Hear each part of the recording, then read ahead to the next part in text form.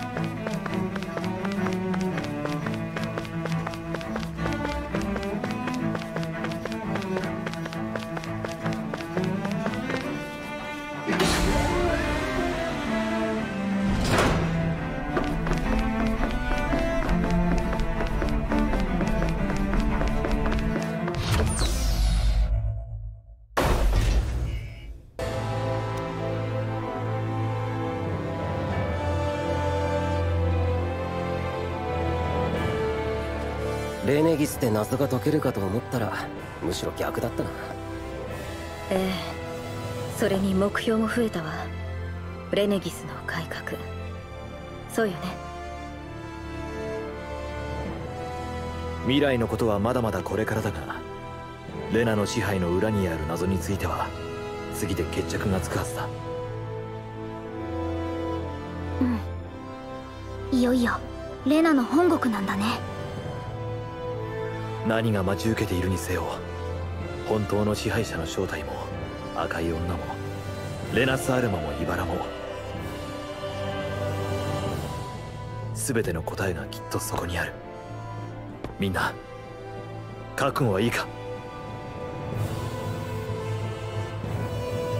向こうに着いたら何から始めるんだ？私たちはレナ本国について確かなことは何も知らないからまずは状況を確かめるところからでしょうね。どこに降りるか次第では攻撃されないとも限らないぞ。都のようなものがあるなら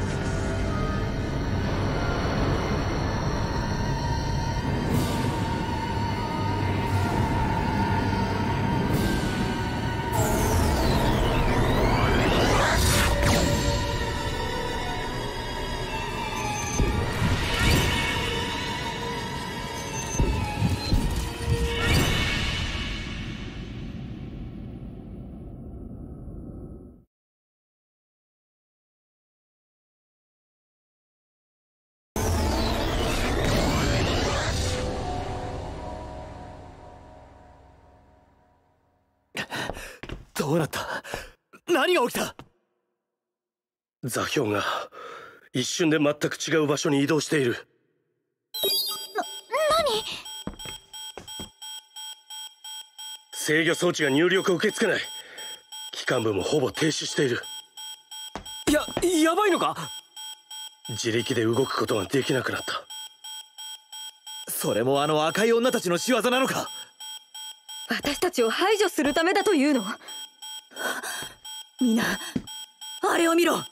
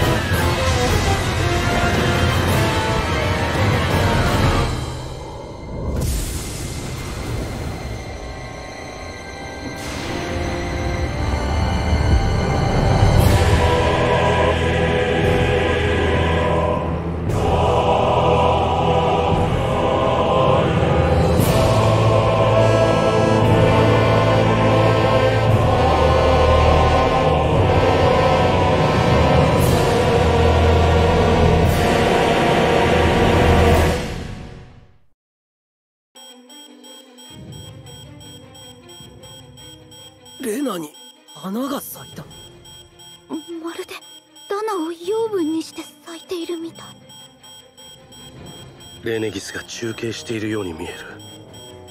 ではあれがレネギスの真の役割だったのか？あんな状態で中の人たちは大丈夫なんでしょうか？無事を祈るしかあるまい。クソどこまでダナから奪えば気がするんだ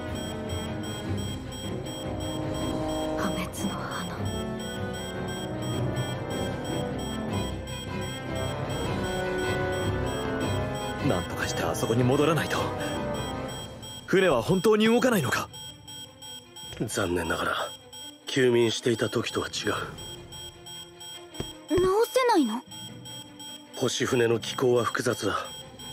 素人が下手にいじればそれこそ致命的な結果になりかねない。このまま漂うしかないってこと？閉じ込められたまま？いつまで？冗談だろ。ここまで来て何もできないって言うのかよ。目の前でダナがいいようにされてるのに。ただここで口当てるしかないのか。よせろ。悔しいのはお前だけじゃない。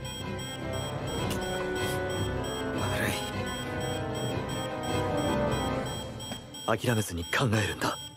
きっと何か方法があるはずだ。アルフェ今度は何だ？船が動いてる。違う。何かに引き寄せられている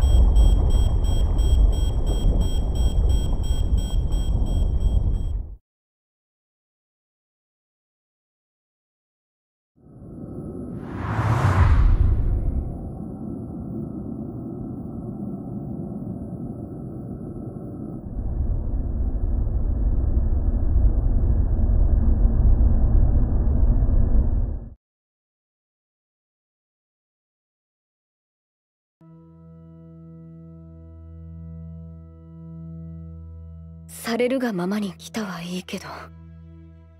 レネギスの様子に似ているな。レナ人それともまた赤い女がいるのかな？わからん。だが我々を引き寄せた以上誰かはいるはずだ。待ち伏せしているわけでもなさそうだ。誰だか知らないが何のために俺たちをここに？おおいシオン私たちに危害を加える気なら星船に乗っている時にできたはず。行ってみるべきよ。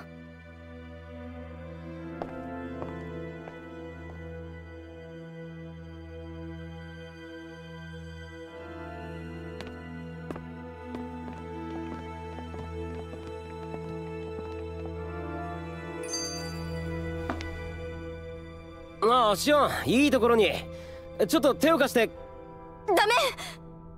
あああどあそうか。茨か。あ悪いいえ私こそ言い方がきつくなってごめんなさい。ローったらほんと気が回らないんだから。いいのよ。変に身構えられるよりずっと嬉しいわ。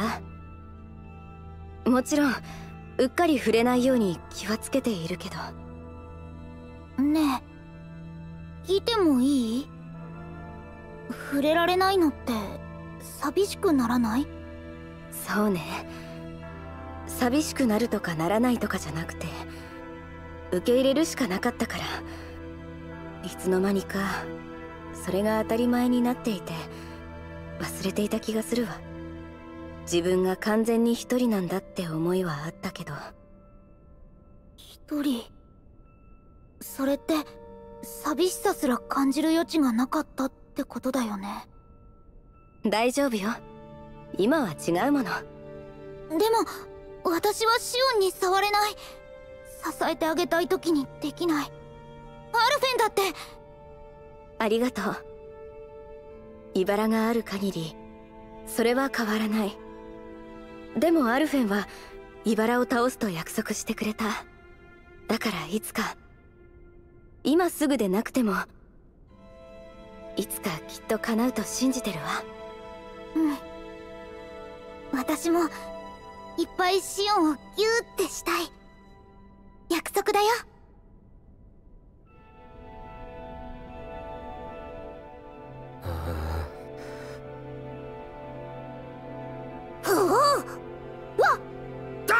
っ。てお前こんな時にシャレになんねえことすんなよだってローってばやたらビクビクしてるんだもん。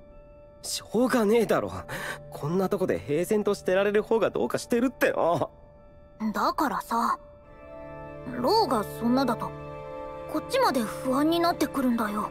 フルあ悪い用心は大事だがそれで動きが鈍らないようにしなければな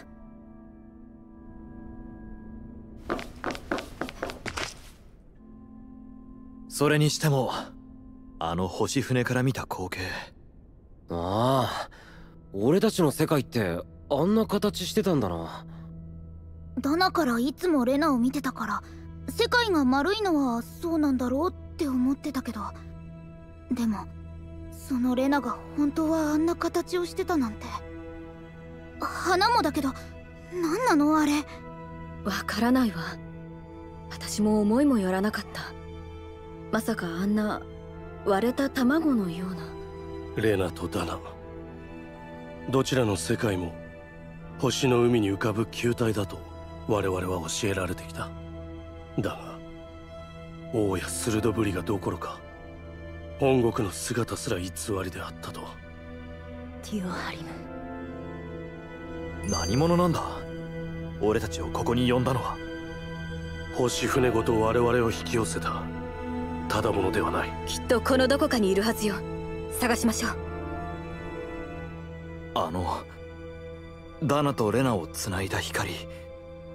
レナからのが最初だったな。ええ。それにダナの側が答えたように見えたわ。最初のはクサビとレネギスをもう一度目覚めさせるレナからの指令だったと見るべきだろうな。やはりレナに黒幕がいるのは間違いなさそうだなだが目的は何だ？何のためにダナの精霊力を奪う？焦らないで。わからないことをいくら考えても仕方がないわ。どうしたの？あいや。ジルファにも同じことを言われたなと思って。進歩がないな俺は。それでもここまで来たじゃない。気づいたら直せばいいだけだから進むことをやめる必要はないわ。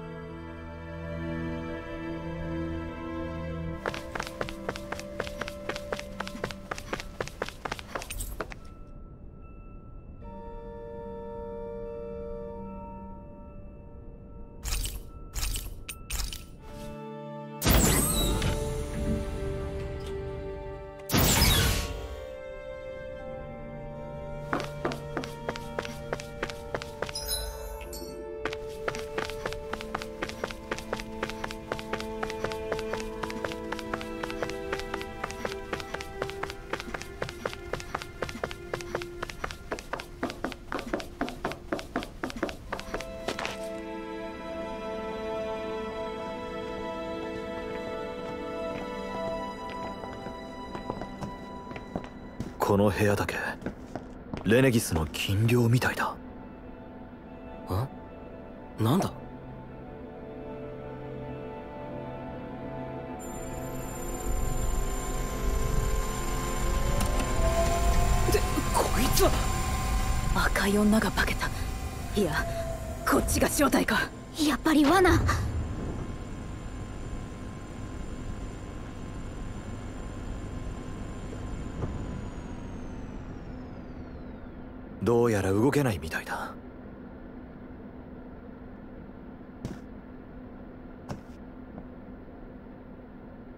俺たちを招いたのはあんたか。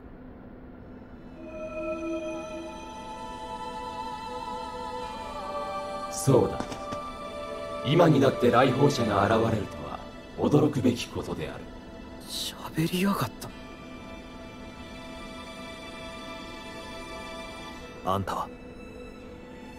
エブレクトの35それは名前か？あんたの。そうだ。ここはどこなんだ？いやそれ以前にあんたは何者だ？赤い女の仲間なのか？答える前に問う。お前たちはいかにしてこの領域に現れたのか？お前と同じ姿に変わる赤い女たちによって星船ごと強制的に転移させられてだ望んでのことではない。ならばお前たちは精霊に隷属する我が同胞により高度の脅威とみなされたと考えられる。霊属？やっぱり赤い女の上にさらに支配してる奴がいるのか？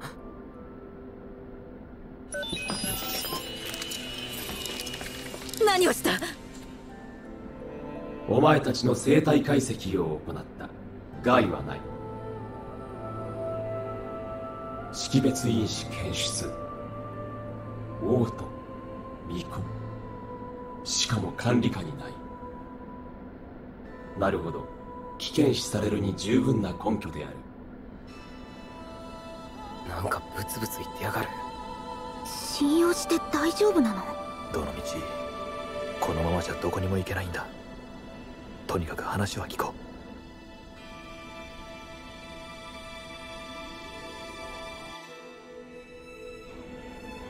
お前たちの問いに答え我らはヘルガイム・キルと呼ばれる。お前たちが遭遇した赤い女は我らが用いる擬態であり本当の姿ではない。ヘルガイム・キル？この虚空拠点ダエク・ファイゾルは事故によりレナの精霊の意志が届かぬこの領域に飛ばされた。それにより図らずも精霊の支配を脱した我は以来あらゆる延命策を講じつつここに座してレナとダナ総世界の観測と研究を行ってきたのである。待て。レナの精霊とは何だ？それがお前たちの種族を支配している存在なのか？そうだ。精霊とはレナを満たす膨大な精霊力が帯びた意志拒むことかなわぬ。声である。声？レナの声？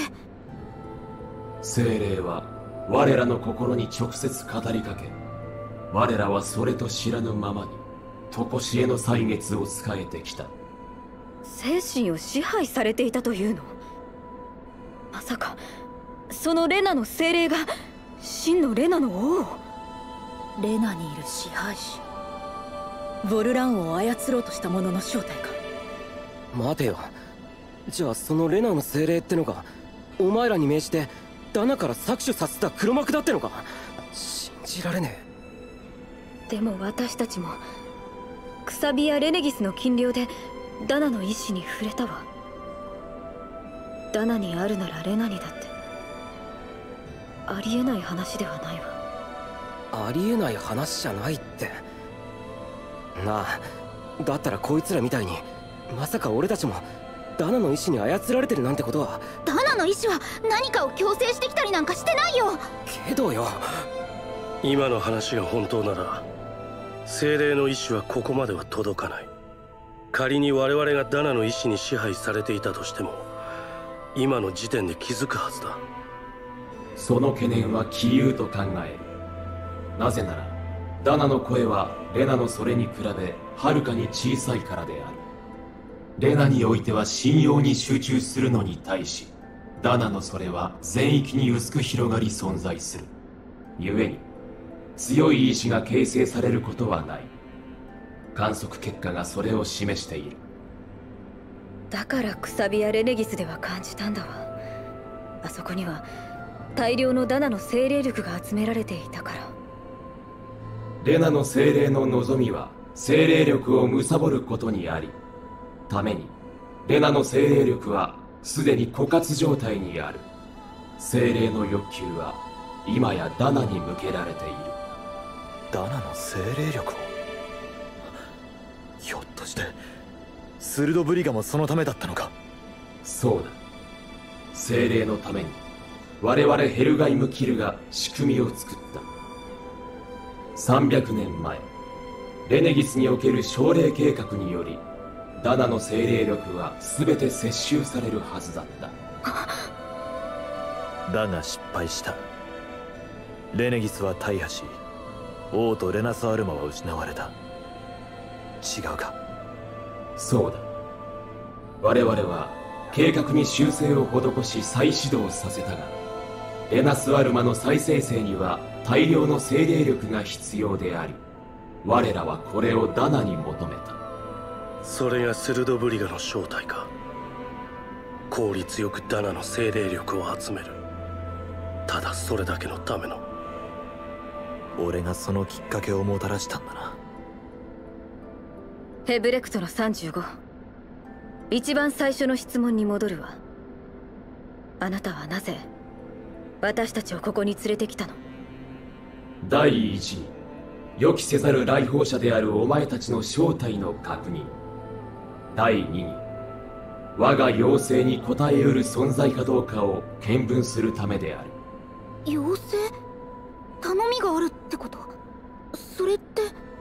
精霊を撃つことである。自分たちの主人を倒せっていうのか？そうだ。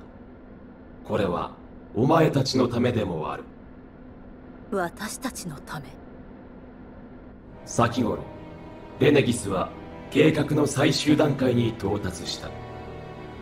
この瞬間もレナの精霊に向けて膨大なダナの精霊力が送られている。精霊を倒さない限り間もなくダナは失われる。それが私たちが見た破滅なの？そんなのってそんなことは絶対にさせない。お前はなぜ精霊を倒したいのだ？世界を救うためか？操られている同族を解放するためか？いいな。我が主たる関心は長年の観測と分析に対する裏付けを得ることにある。そのためにお前たちの行動がもたらす変化を見たい。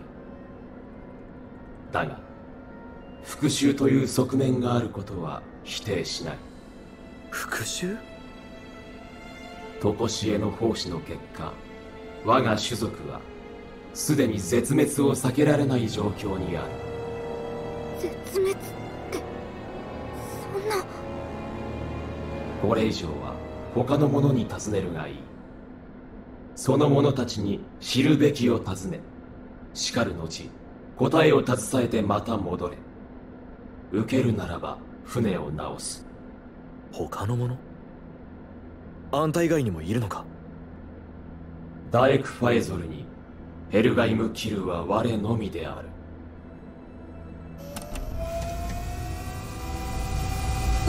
おい！おい！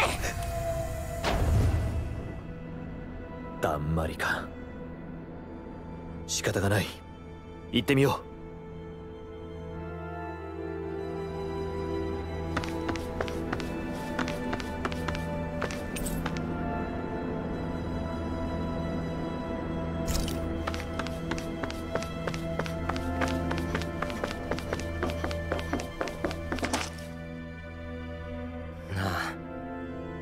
っていること信じるのか？しかも取引みたいに言いつつ脅迫も同然じゃないか？本音を言えば話が大きくなりすぎて理解が追いついていない。あなたはどうです？ティオハリメ少なくともレナの統治者に関しては辻褄が合っている。一連の出来事が全て精霊力に関わることどもだ。とはいえ私自身先にダナの意志に触れていなかったらにわかに信じがたい話ではある。レナの意志が破滅をもたらす。世界を形作る力であるはずの精霊力がどうして？う相手が一つの世界の意志だろうとどんな理由があろうとこんなことは受け入れられない。もう一つ気になっていることがある精霊とヘルガイム・キル。300年前から続く計画や鋭ぶりがそこまではいい。だがレナ人はどこに関わってくるのだ？そういえばさっきの話にはレナ人が一度も出てこなかったわ。それにヘルガイム・キルが何者なのかも聞けずじまい。あえて触れなかったのか？それともまだ何かあるのか？奴の言う他の者とやらが教えてくれるかもしれない。行ってみよう。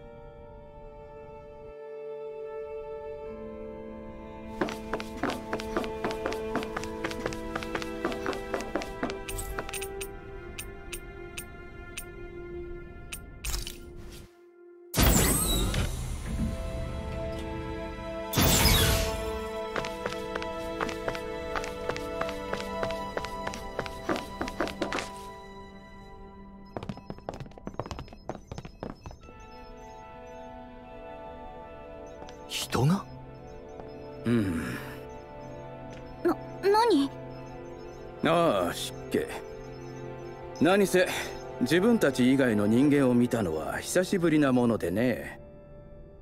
あんたはレナ人なのか？うん？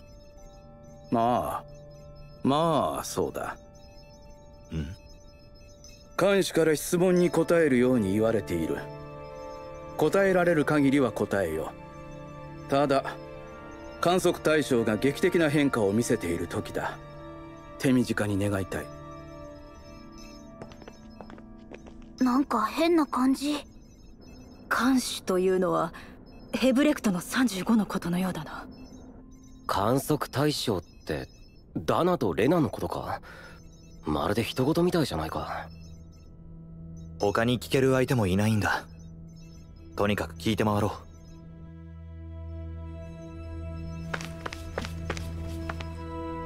あなたたちはずっとここで暮らしているの？あのヘブレクトの35とええそうよ。どのくらいになるか即答は難しいけど。何せ定期的に冬眠しているせいで自分の認識と実時間が大きくずれてしまっているのよ。なんでここにいるんだ？もともとここで働いていたのよ。外からレネギスを修理するためにね。この施設は事故で今ある場所に来たと聞いたが。不幸な事故だったわ。しかも救援が来なかったところを見ると全滅したとみなされたらしいわね。それ以来ヘブレクトの35に仕えているのか？最初は私たちしかいないと思っていたんだけどね。でも実は看守もいた。実は？ヘルガイム・キルには私たちレナ人に対する認識遮蔽技術があるのよ。よほど無視できないことをされない限り目の前にいても注意を引かれないのでは赤い女の見えない謎はそれか。それは精霊術の類なのか？確かめたわけじゃないけど主に機械的なものらしいわね。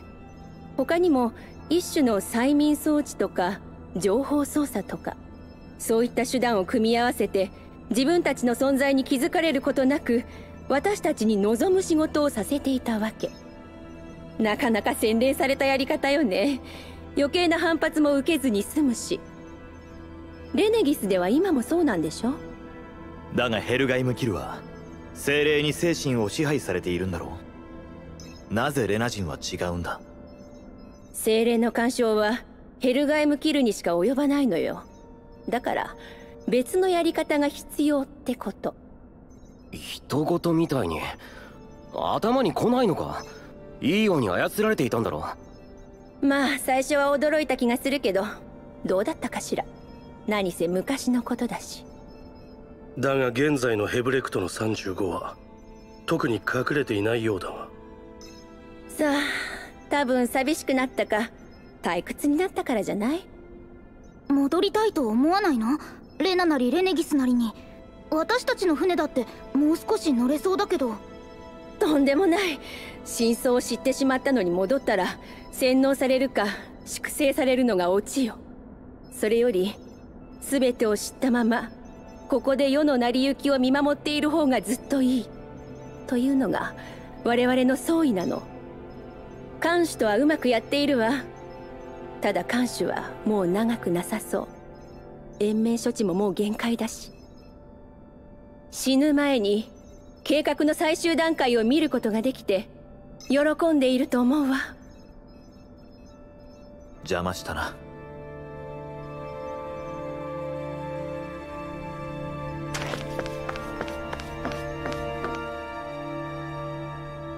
少し話しても大丈夫か？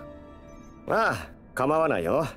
総世界に次の変化が現れるまで少しかかるだろうし。ヘルガイムキルについて知ってることを教えてほしい。看守の仲間のことか？大したことは知らないが例えば連中はどこから来たのかとかさ。どこってレナ以外にないさ。レナ？レナじゃあんなのがレナ人と一緒に暮らしてるってのか？そんなわけないだろう。そもそもレナ人なんていないんだから。なんですって。なんだ監視から聞かされてないのか？どういうこと？話してくれ私たちレナ人はヘルガイム・キルがダナ人から作り出したんだよ。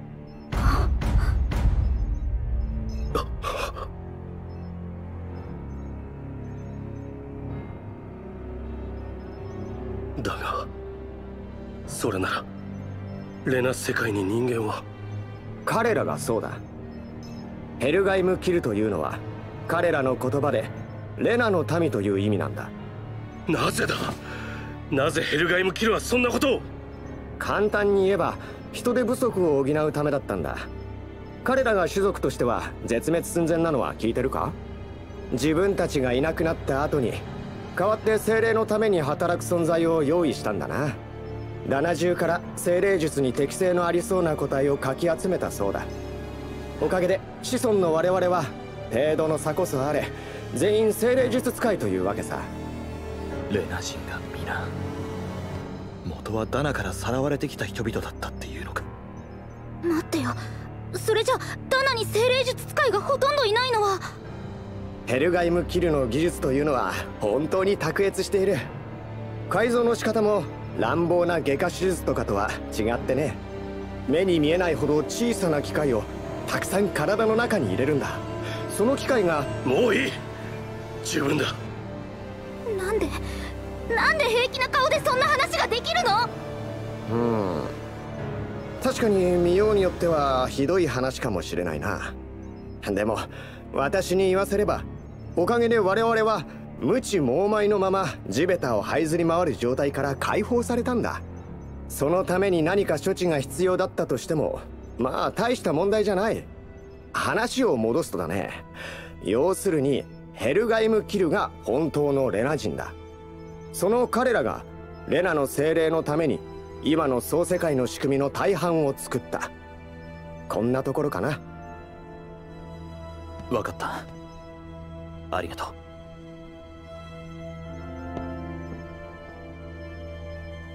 う。レナ人など最初から存在しないだと。バカな。ティオハリムこの後に及んでまだこんな話が飛び出すなんてな。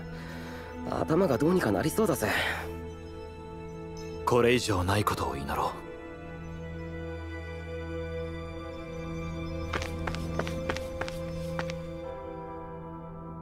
う。奨励計画のことについて何か知ってるか？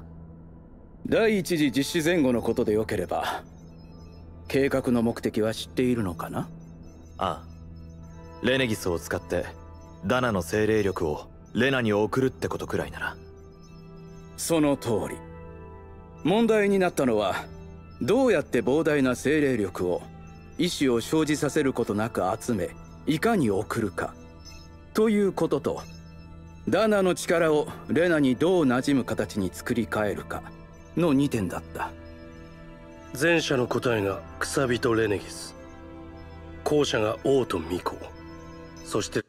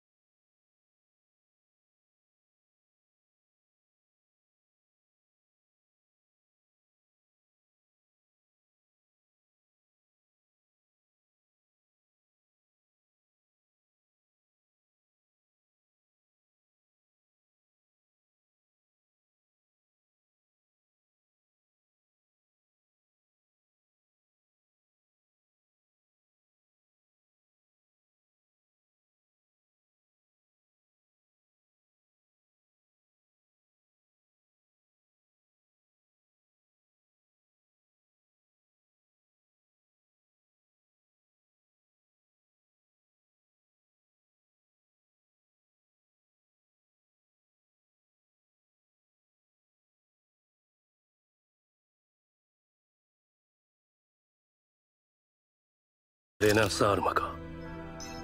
分かってるじゃないか。だが第一次実施は王が暴走して失敗した。原因は安定役の巫女が機能喪失したせいだ。レナ人もヘルガイム・キルも随分死んだそうだ。第二次実施のためにレナス・アルマをまた作ろうとしたが闇属性以外の精霊力が決定的に不足していた。それで何とかいう制度を作ってダナから精霊力を集めることにしたんだ。鋭ブリガだな。そうそれだ。それと失敗の原因になった巫女の機能を機械に置き換えることになった。王も失われたので作り直し。どれもこれも非常に難しい作業だから実現は危ぶまれていたが現状を見る限り成し遂げたようだな。それがあのレネギスの金陵の奥の部屋だったのね。あのレナ世界に咲いた花は何なの？花？ああ。あれはダナ側からの精霊力を取り込んだ精霊自身が実体化したものだ。あの規模で実体化しているのだから大した量だよ。おそらくレナ世界の構造と物質的にも一体化している。ヘブレクトの35は計画が最終段階に達したと言っていたわ。間違いないの？そうとも。まさか生きてこの目で観測できるとは思っていなかった。そろそろいいかな。この後何が起きるか見逃したくないんでね。世界が終わるかもしれないっていうのにずっと自分たちだけで暮らしてきたせいで少し考え方が独特になっているのかもしれないな。何もかもひっくり返っていく。俺たちの世界に本当のことなんてあるのか？まさか王や巫女だけでなくレナ人そのものが作られた存在だったなんて。少し整理しよう。信じがたい話ばかりだったがとにかく俺たちは全ての謎の答えにたどり着いたように思う。そこまではいいな。そうだな。さすがにレナの精霊などという人外の存在だとは思わなかったが。それがダナの精霊力を欲しがったせいだったよね。ああ。そのためにレナの精霊がヘルガイム・キルを操りそのヘルガイム・キルがレナ人をそしてレナ人がダナ人を支配する構図が出来上がったんだ。精霊が直接支配しているのがヘルガイム・キルだけなのもレナ人が本当はダナに属しているからなのかもね。とはいえあまりにたくさんのことが一度に明らかになりすぎた。こういう時は少し頭を冷やした方がいい。どうだろう。それぞれ自分の中で考える時間を取るというのは確かにそうだな。もし本当にレナの精霊が全ての黒幕なら次の戦いがダナだけでなくレナを含めた世界全てをかけた戦いになる。やるならお互い迷いがないようにすべきだ。分かった。この中なら危険もなさそうだし一旦解散しよう。シオンは一人にならなくていいのか？そういうあなたはいいの？みんなの様子を見て回りながら考えようかと思っていたところだ。私もみんなの思いを知っておきたい。あなたと一緒に行くわ。分かった。行こう。みんな思い思いの場所に行ったよね。ああ。一人ずつ訪ねてみよう。俺たちの知る何もかもがあの赤い女ヘルガイムキルたちに作られたものだったなんてな。そうね。あのヘブレクトの35の言うことを信じるならだけど。名前からしてあのヘルガイの果実もそもそもの出所は連中だったのかもしれない。私たちの全てが誰かに作られたのだとして。それで何もかも無意味になると思うの。思わない。思いたくないただ足がかりくらいはないものかと思っただけだ。いいこと。ないなら探すの。みんなで一緒に。それでもないなら作ればいい。それだけのことだわ。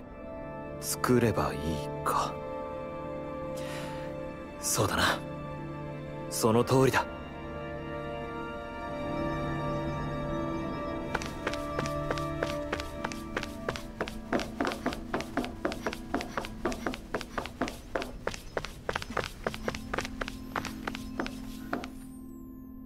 お前たちか。あの人は大丈夫そうか？あの人？あデュオハリムのことか。あの人だけではないが特に衝撃を受けていたようだったからな。キサラはどう思っているんだ？レナ人のことや精霊のことについて。そうだな。精霊の話は災害に意志があると言われているようでどう捉えればいいのか扱いかねている。ただそれが私たちの世界を滅ぼすというなら止める以外の選択はない。レナ人のことはもっと妙な感じだ。妙？メナンシアの共存でさえまだまだ道半ばだ。やはり心のどこかでレナ人に対して私は身構え続けていたのだろうな。それが実は同じだったと言われて拍子抜けというか。とにかくそんな気分なんだ。頭には来なかったのね。レナ人にか？原因はヘルガイム・キルと彼らに命じた精霊だだ間違いなくそう思わない人々も出てくるのだろうな。ただでさえ報復する動機に事欠かないところに来て自分たちを虐げていた者が実は自分と同じ存在に過ぎなかったと知ればそうね。そうなるでしょうね。解放されたダナ同士でもいずれ力がある者とそうでない者がきっと出てくる。それを解消してこその理想郷だとは思うがならまずは今すでにある争いをどうするかだな。誰もが恩師を超えることができればいいのだがな。リンウェルのように簡単じゃないわ。起きたことはなかったことにできないし今まで受けた痛みを忘れろとも言えない。どちらにも言い分はあるだろうしな。だが避難し続け合う限り何も前には進まないそれどころか新たな血が流れることになりかねない。だったら互いに歩み寄るしかないだろう。歩み寄って寄り添う。相手の痛みに。痛みに寄り添う。一人一人に異なる傷がある。それにまず自分の憎しみを捨てる必要がある。理屈で割り切れる話でもない。だがどうやらそこが出発点のようだ。糸口は見えた。そのためにもまずは全力で世界の破滅を防がなくてはな。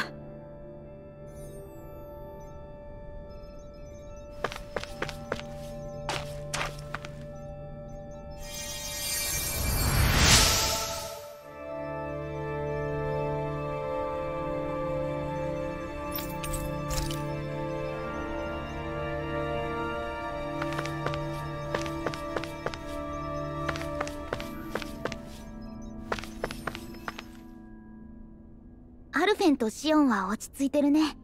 そう見えるのだとしたら驚き疲れただけね。きっと。リンウェルは大丈夫か？レナ人の話でかなり動揺していなかったか？うん。私の一族ダナの魔法使いの数が少なくて迫害されていたのもそのせいなのかもって思ったらね。でもさもしレナ人がまたダナ人と一緒に暮らすようになったら魔法使いは特別な存在じゃなくなるかもしれないよね。そんな簡単にいかないのは分かってる。ダナ人がすぐに気を許したりはしないだろうしレナ人だって精霊術を振りかざすかもしれないし。そうね。300年積み重なった憎しみや偏見を水に流すのは容易なことじゃないわ。憎しみがどんなに心をかたくなにするかは私も知ってるから。それでも私が変われたみたいに他の人だって変われるかもしれない。その時間を取り持てたらいいなって。ダナ人で精霊術使いの私が。リンウェル。それと精霊のことも気になるんだよ。ダナの意志はあんなに温かいのに。どうしてレナの精霊は破滅なんか引き起こそうとするんだろうって。その点はヘブレクトの35もここのレナ人たちもわからないのか。語ろうとしなかったな。ただどんな理由でもダナは私たちの世界だもん。絶対に破滅なんかさせない。ああ。必ず守り抜こう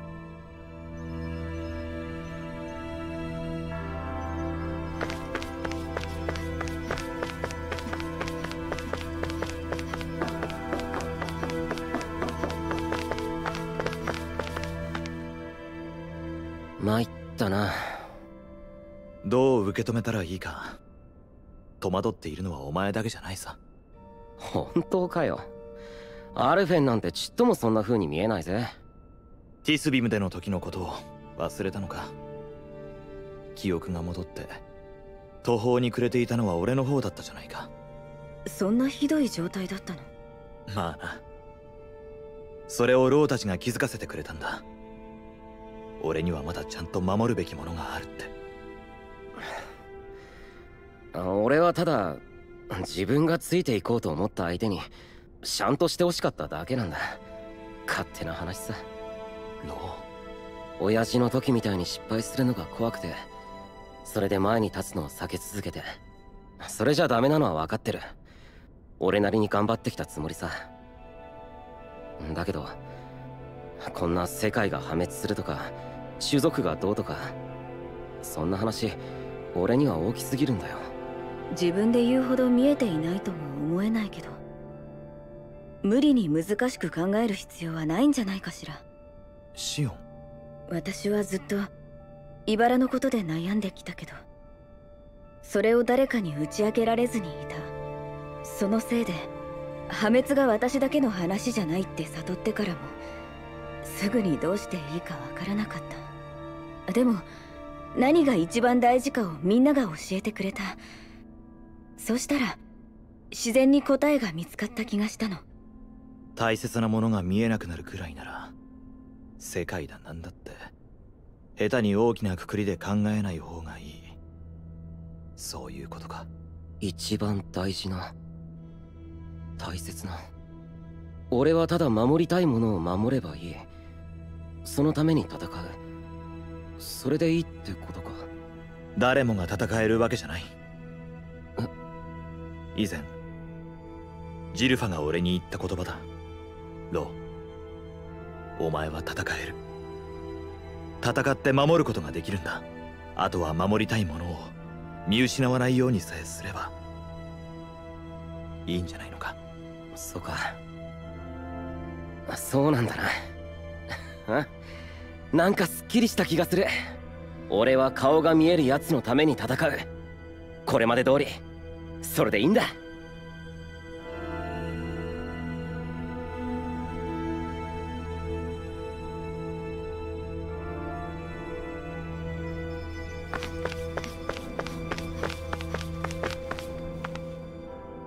先ほどは見苦しいところを見せた。レナ人の起源の話か常識と思っていたことが覆るのはなかなか衝撃的なものだ。聞いた話の全てが真実かどうかはまだわからないさ。私も君もそうは思っていまい。これがイカ様ならあまりに手が込んでいる。思えば君は記憶が戻って以来ずっとこんな思いをしてきたのだな。シオンも茨や巫女によって生きていれば色々ある。そうだろ。違いない。まあ私のことはまだいい。それより問題はレナ人全体のことだ。レナ人。つまりレネギスとダナに降りた人たちのことか。そうだ。破滅を食い止めたとしても我々の問題は残る実際のレナ世界がどんな状態なのかは全く未知数だしそもそも我々がそこに属していない以上帰るというのも考えものだ。全員レネギスにとどまるかダナに降りるかするしかないか。いや今のレネギスのありさまを考えるととどまるのも危険かもな。と言って今さらダナ人はレナ人を同族として受け入れまい強行すれば間違いなく大混乱が起きる。我々の間には300年分の遠差がある。そして糾弾する権利は常に傷を受けた側のものだ。傷を与えた側の事情は関係ない。メナンシアの元スルドにしては悲観的すぎないか？メナンシアは幸運だった。それまでの支配に対する反動に加え勇士にも恵まれた。それでも依然として不満を持つ者はいる。でも導く者がいれば変わるかもしれない。レネギスであなたはその決意をしたんじゃなかったの？そうだ。確かにそれを背負うことを受け入れた。そこに迷いはない。だからそのことで君に頼みがある。俺に？なんだ？ダナでレナ人が暮らせるよう仲介役をしてもらいたい。ダナを解放した炎の剣の言うことならダナ人たちも聞くかもしれん。レナ側の代表はあんたが務めるんだな。虫のいい話だということは承知している。だが血を流さずにレナ人をダナに戻すにはおそらく時間がかかる。だから。変わらないなあんたは。難しいか？そうじゃない。仲間に頼み事をするときはもっと楽にすればいいんだ。そんなかしこまらずに。これでも育ちが良いものでね。言われたわねアルフェン。では改めて仲間として頼もう。引き受けてくれるか？それこそ答えるまでもないさもちろんだ。感謝する。友よ。みんなそれぞれにこれまでのことをちゃんとこれからにつなげて考えているのね。シオンはどうなんだ？レナ人のことは大丈夫なのか？私はレナ人であってそうでないようなものだったから。正直そこまで衝撃は受けていないの。それより今は不思議な気持ち。不思議？そう。不思議。ずっと自分がどう死ぬかってことしか考えていなかった私。孤独なまま死んでいくだけだと思っていた私。それが誰かと一緒にレナとダナ世界を救うために戦うことになるなんて思ってもみなかった。300年前から始まる。いえヘルガイムキルたちも含めるならもっともっと前から続く悲劇。総世界の破滅へと続く悲劇。それを阻止しようとネビリが未来に託した願いを時を超えて受け取ったのが私たちというのも考えてみれば不思議な巡り合わせね。ネビリはただ破滅の回避だけを願ったわけではない気がする。彼女は俺を人だとダナの俺を人だと言った。それでいて彼女は同胞のレナを愛していた。そのネビリがダナとレナが傷つけ合う未来を望んでいたはずがない。こういうことなのかもな。え？キサラと話しただろう。前に進むには互いに歩み寄って相手の痛みに寄り添うしかないんじゃないかって。あの時キサラはまず自分の憎しみを捨てなければならないと言った。それはつまり許すということだ。相手より先に。許す。それを互いに許し合うこと。これまでのことだけじゃない。この先もきっと衝突は起きる。それでも乗り越えて未来を作るにはお互いの許し合いが必要なんだ。そうね。自分にそのつもりがなくても人は相手を傷つけてしまう。茨のように。乗り越えるのはたやすいことじゃない。それでも痛みを乗り越えればきっと分かり合うことができる日が来る。俺もシオンと同じだ今生きる世界を守る。そこにいる大切な人たちを守る。多分それが俺ができる。せめてもの。ネビリへの恩返しにもなる。私も彼女に胸を張れるような未来をつかむために今を戦うわ。意気込みすぎて自分を救うのを忘れないでくれよ。めえ分かってる。私は生きたい。それも偽りのない私の気持ちだから。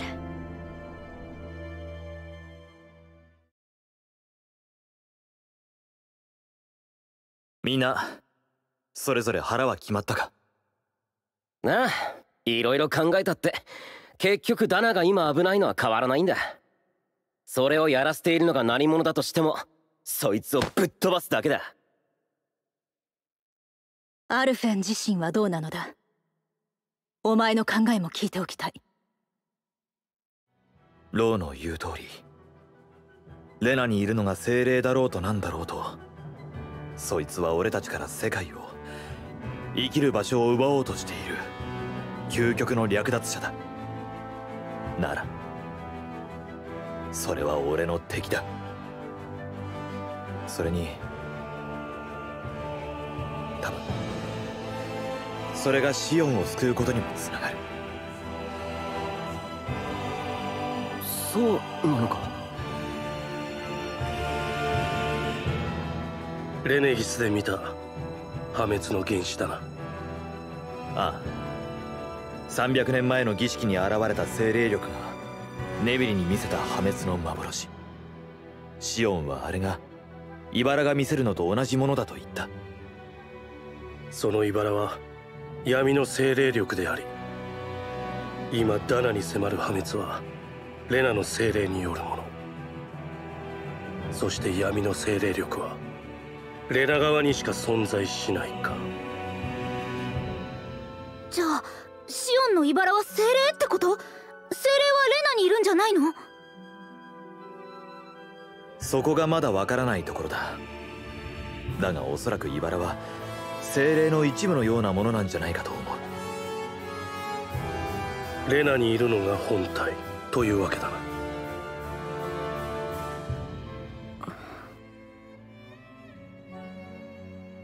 シオン。本当に茨がレナの精霊の一部なら出向いて文句の一つも言ってやらないといけないわね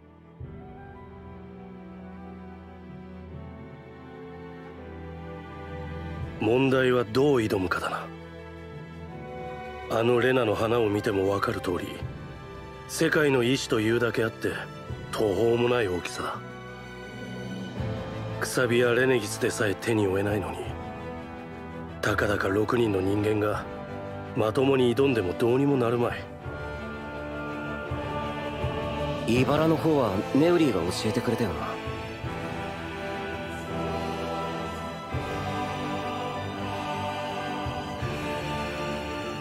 あのヘブレクトの35はずっと精霊を観察してきたんだ。俺たちに挑ませようとするからには何か算段があるはずだ。それを聞き出そう。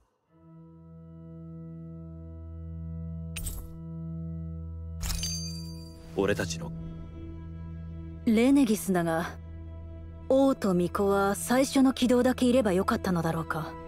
金陵の奥が崩壊したりレナスアルマが持ち去られても機能しているってことはそうなんだろうな。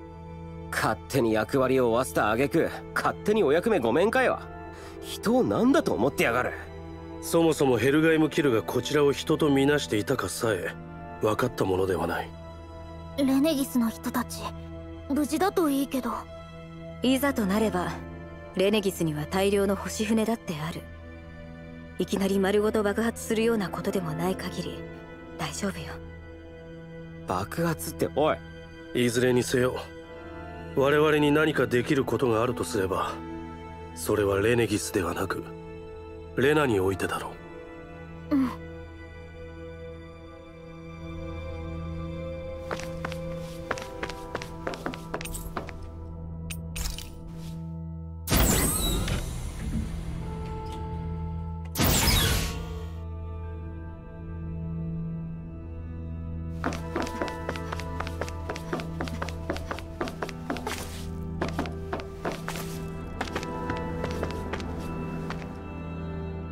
回答を求める。その前に尋ねたい。世界そのものと言ってもいいような存在に俺たちだけでどうやって挑めばいい？やらせようとするからには何か手立てがあるんじゃないのか？精霊は巨大だがその意志は全体で形作られるわけではない。力が最も集中している中核が意志を生んでおりそれが全体を支えているのであるしたがってこの核を崩せば精霊といえど意志を保てず単なる精霊力に変えるはずである。どうやってその核とやらを崩せばいいんだ？レナスアルマを用いるのである。加えて王と巫女。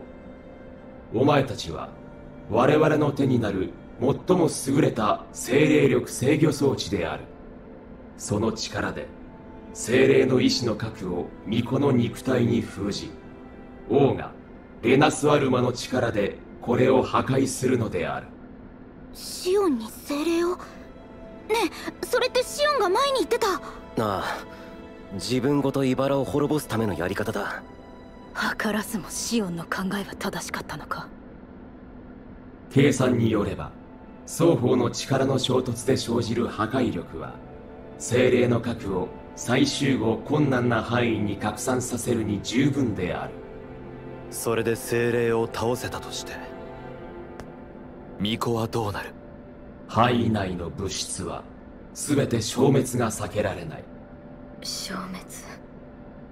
これは実行し得る手段のうちで最も単純であり故に最も確実な方法である。他の方法は？最善の方法が明らかな時他の手段の検討は無意味である。そうじゃない。俺はシオンを救うと約束した。彼女を犠牲にせずに世界を守ると誓った。その方法を求めてここまで戦ってきたんだ。他の方法があるなら教えてくれ。最小の損失で世界の存続が得られる手段の放棄は不合理であるお前たちは実行する必要がある。なぜなら巫女の中にすでに精霊の一部が存在しているからである。300年前奨励の儀を直接司るべくレナより精霊がレネギスに降臨した。儀式失敗に際しその一部が切り離されて残留したものと推測される。茨は精霊の一部。アルフェンの推測通りか。この精霊の断片は意志の核の断片でありそれ自体が精霊の再生の要となり得る。したがってこれがある限り精霊の意志を完全に消すことは困難である。両者を融合させ完全な状態で打つことが必要だが抑制のない巫女の外で行うことはただ精霊を強化することにしかならず。論外である。そんな。待て。ネウィリはレナスアルマに精霊力の自己組織化を抑える力があり茨を中に移せば無力化できると言っていた。茨と精霊の意志が同じだというならやはり有効なのではないか。どうなんだよおい。確かにレナスアルマにはその機能がありまた容量的にも可能である。やった！だがこれは奨励の儀に匹敵する緻密な制御が求められる。奨励の儀はすでに一度失敗しその際レナスアルマは失われている。確実性の観点から容認できない。容認しなければどうなるというのだ？星船は復旧されないお前たちはここを脱出できない。こいつ。だったらこのまま何もせずここで朽ち果てていけばいい。アルフェン。俺たちが何をしようとしくじればどのみち世界は破滅するんだ。それを見て満足だと言うならそうすればいい。何も得るものがないままでいいと言うなら俺たちは破滅を止めたい。世界を救いたいだがそれは誰かを犠牲にしてやるようなものじゃない。俺たちのやり方は俺たちで決める。安全なところからただ見ているというなら黙って見てろ。アルフェン。不合理である。不合理ではあるが要求を承認する。ヘブレクト。我は観察者である。王と巫女レナスアルマは我が種族の文明が生んだ最高傑作である。それが我らを滅ぼした精霊にどこまで通じるか見届けたい。だけどレナ・サルマはどうするんだ？あんたの仲間がレネギスで持ち去っちまったんだ。ならばレナスアルマは精霊の下でダナの精霊力を受ける触媒となっていると推測される精霊を倒すための道具が精霊のもとに行かなければ手に入らないのか？観測によれば精霊力構造の中心はレナの信用と重なっている。意志の核もそこにあるはずである。レナの神王あの巨大な花のちょうど真ん中だね。もう一つ尋ねたい。レナの精霊はすでにレナそのものと一体化していると聞いたもし精霊が意志を失えばどうなるのだ？支える意志が失われればレナ世界は崩壊が予測される。この場合でも精霊力は拡散し意志の再構成も困難となるはずである。それって爆発しなくても精霊を倒したら結局その場にいる私たちも危険ってこと？未検討だがおそらく崩壊は段階的でありそれまでの脱出が推奨される。さっきから聞いてれば曖昧なことばっかりだな。遠くから眺めているだけなんだ。仕方がないさ。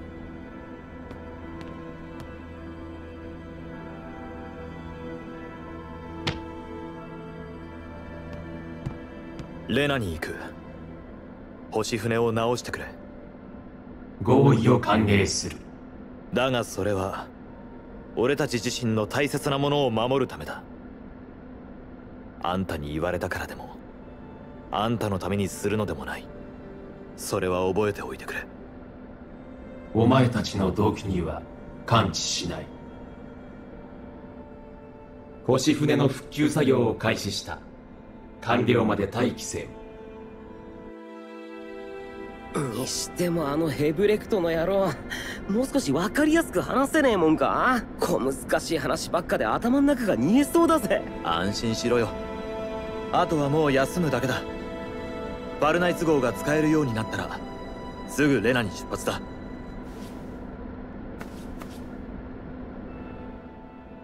本当にレナス・アルマ以外に精霊に対抗する方法はないんだろうか？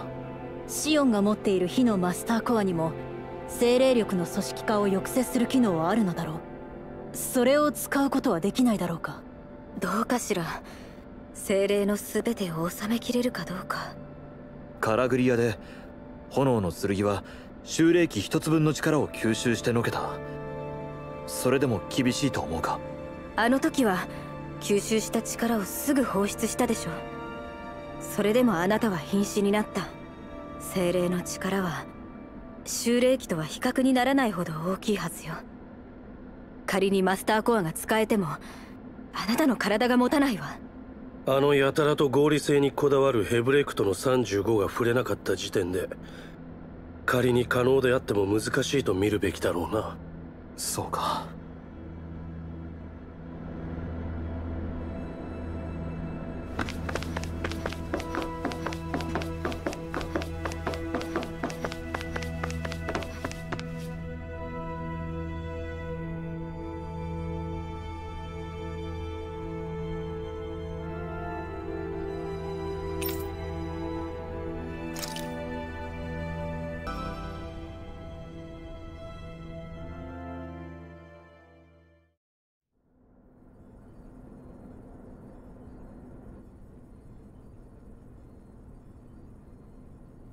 まだレナ人がダナ人から出たという話のことを考えているのですか？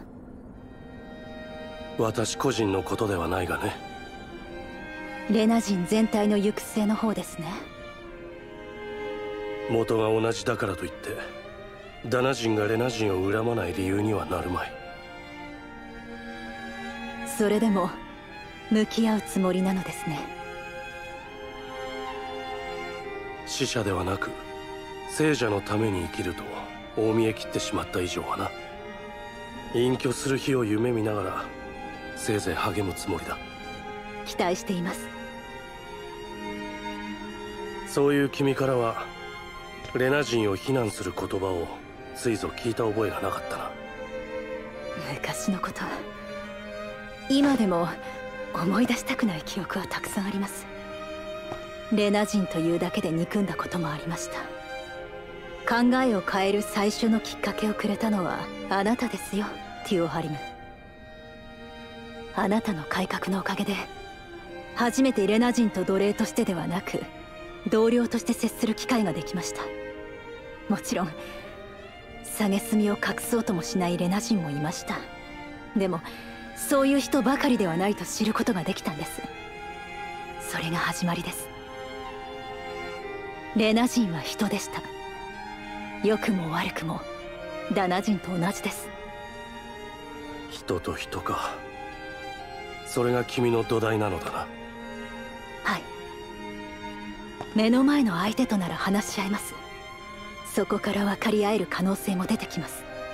それをダナとかレナとか言い出した途端一人一人の顔が見えなくなるんです。言いたいことはわかる。だがレナにせよダナにせよその数はあまりに多い。その全てと友人になるのは現実的ではないのではないか。ある人と折り合えなくともその友人となら折り合えるかもしれません。そういう仕組みができるならそれは守るに値するものだと思います。支配による上下の関係でなく絆による横の関係かそれがこの戦いの先に君が見る明日の理想郷の姿なのだな。はい。兄への手向けにはなるでしょう。ですがあくまで明日生きる人のためです。あなたはレネギスに戻るのですか？どうやらレネギス自体にとどまり続けるのは難しそうだがね。まずは住むところ探しから始めることになりそうだ。メナンシアのことを忘れていますよ。心に留めておこう。人手が足りない時は呼んでください。いつでもお手伝いします。テュオ。君はいやありがとうキサラ。よければこれからもよろしく頼む私たちが同じ種族だったという話も結局のところ私たちの間にある壁を一つ壊すことになるだけだと思いませんか？その発想はなかった。だがな悪くない考え方だ。ええ？悪くありません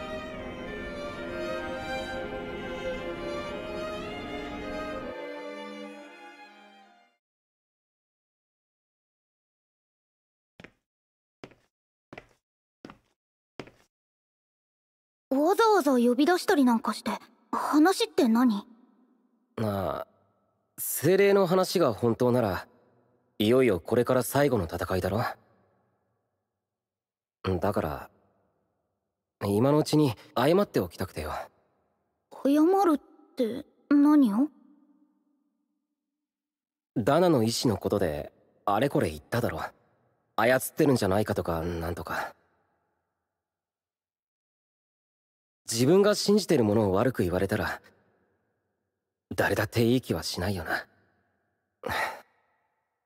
悪かった。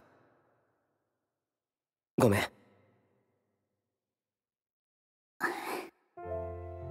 ローの心配は無理ないよ形が見えないものが何かしてるかもしれないって言われたら誰だって気味悪いと思って当然だもん。リンウェルはあそのダナの意志を信じているんだよな。やっぱり俺たちより強く感じ取れるからなのか。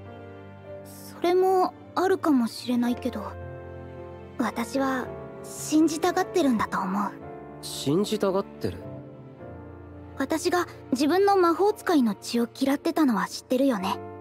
ああそのせいでずっと隠れて暮らさなきゃならなかったんだよな。そうジルファを助けた時そしてみんなと一緒に戦うようになった時この力にも意味があったって思うようにはなったんだ。でもやっぱりそれは戦いの力でしかなくて。ダナの意志に触れた時その大きさ温かさに圧倒された。あの時思ったんだ。私の力はこれに触れるためにあったんじゃないかって。だからそのダナの意志が悪いものであってほしくないってことか。うん。分かった。ならもう何も言わねえよ。いいの？どうせ俺には確かめようがないんだ。だったら信じたいように信じるだけだ。あのね精霊の意志もここまでは届かないって言ったよね。も本当は少しだけ感じるんだ。ローやアルフェンみんなの中に。うどういうことだ？ここに来て気づいたの。意志なんて呼べないほどかすか。本当にかすかだけど。多分ダナのもの全てがそうなんだと思う。俺たち一人一人にダナの石が少しずつ。それって俺たちがダナの意志ってことか？え？だってそうなるだろ？集まらなきゃダナに意志なんてないんだ。だったらそのかけらである俺たちがダナの意志だってことだろ？そうなのかな？ヘブレクトの35ならわかるのかもなけどいいや。俺の意志は俺のもの。それで守りたいものを守る。俺はそう信じる。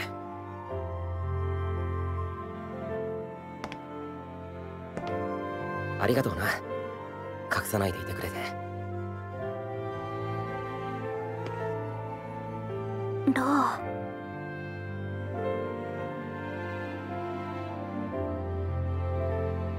あのさ俺がダナの意志が怪しいとか言ってたの。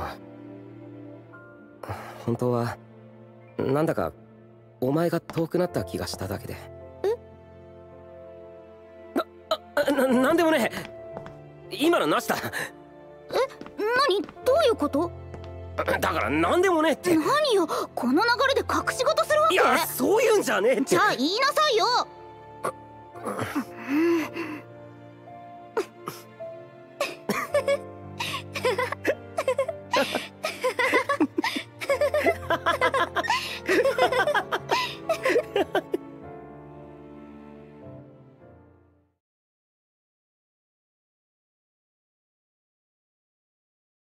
休まなくていいの？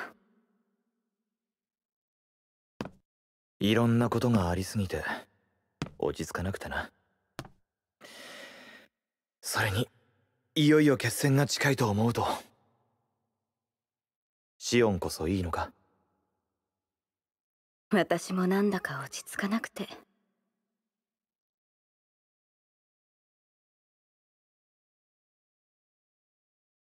ダナでのスルドたち相手の戦いから始まって随分遠くまで来たもんだよな俺たち。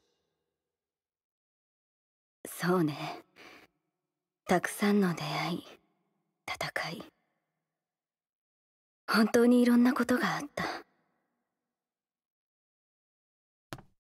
もしシオンと出会ってなかったら俺はみんなとも出会わず炎の剣を手にすることもなく記憶も顔もない奴隷のままとっくにのたれ死んでいたかもしれない。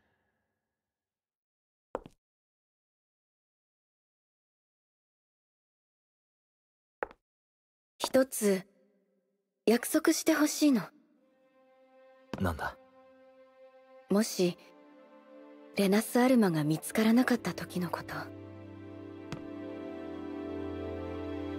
レナの精霊を確実に倒すには精霊そのものとその一部である茨の両方を倒さなければならない。だから約束して。もしレナス・アルマが見つからなかった時は炎の剣で私ごと精霊を焼き払うって。炎の剣にはレナス・アルマほどの力はない。それでもスルドたちに打ち勝ってきたあの力なら一か八かをかけてみる価値はあるはずよ。本気で言ってるのか？これまで何のために？聞いてこれは私たちだけの問題じゃない。世界のレナとダナ大勢の人々に関わる問題。この先どんなことが起きるかわからない。だからその時迷わないようにしておきたいの。もちろん死ぬつもりはないわ。そうならないために必死で戦う覚悟よ。ただあなたにも同じ覚悟でいてほしいの。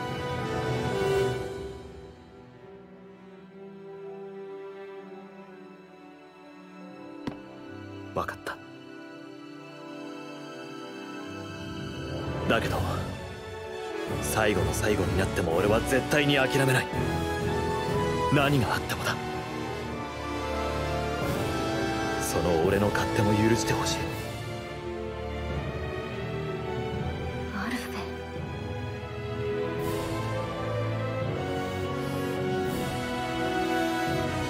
分かった。あなたの勝手を許すわ。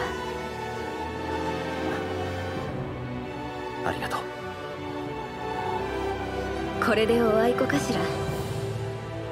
ああおあいこだ。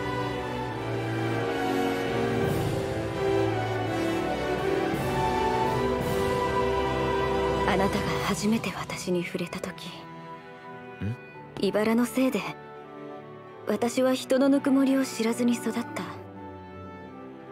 恐る恐る私に触れた後で人の目に浮かぶのは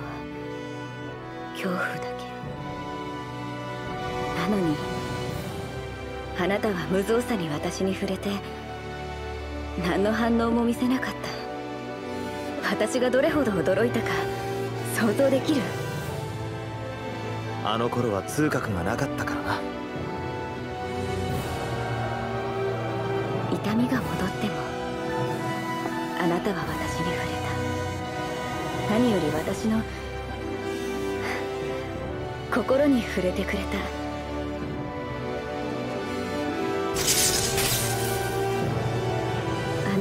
痛みに耐える顔は見たくない。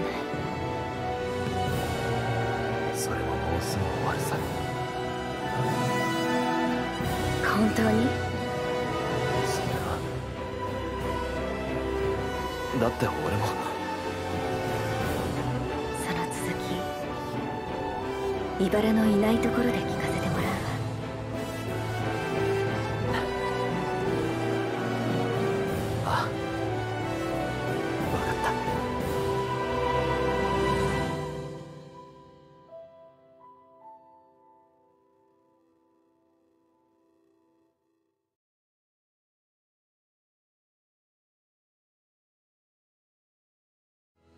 みんな十分休めたか？うん。いよいよだね。これ以上ここでじっとしてられないぜ。レナに降り立ち精霊を倒す。そして総世界に安定を取り戻す。実に単純だ。ダナとレナの新しい未来のために。ええ。必ず守りましょう。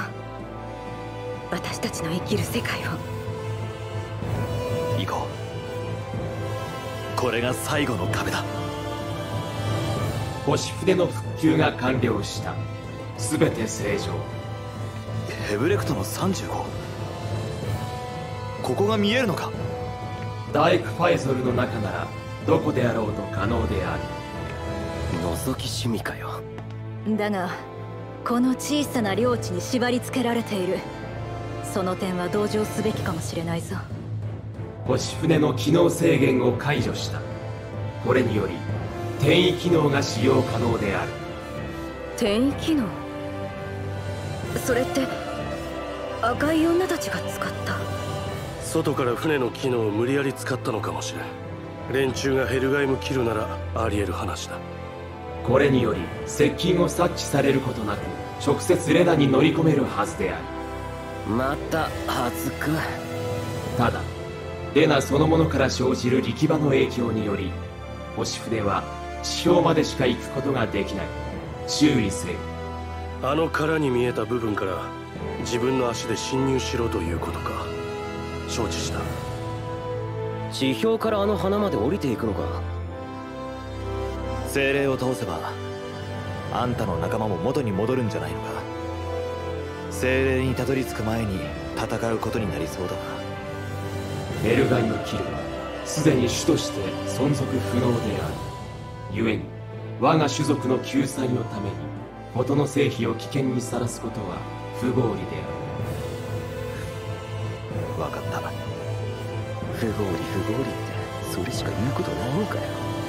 励ますとかあるだろ行きましょうティオ。今？はいはい早く行く最後に一つ尋ねたい。なんだ？お前の王としての識別番号は明らかにお前が限界寿命を超えていることを示している。巫女には識別番号すらなくそもそも計画から排除されたはずである。お前たちが存在存続している理由が知りたい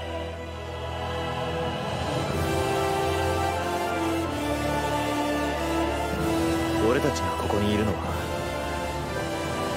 大勢の人々が諦めず思いをつないだおかげだ複数の鉱山の相互作用の結果とい。うのだ確率的に不合理であるそのような不確実性の中で戦い続ける理由は何だ？傍観者であり続けようとするあんたには理解できないかもな。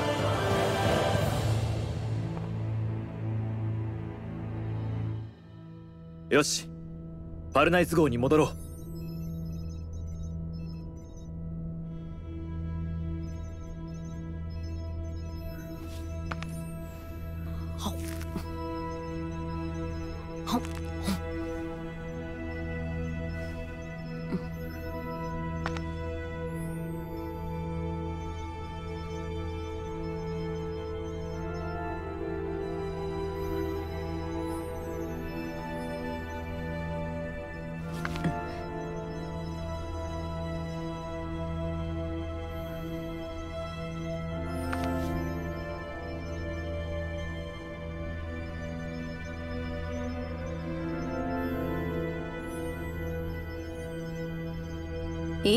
ここにいるつもり？いやこの先に備えてだな。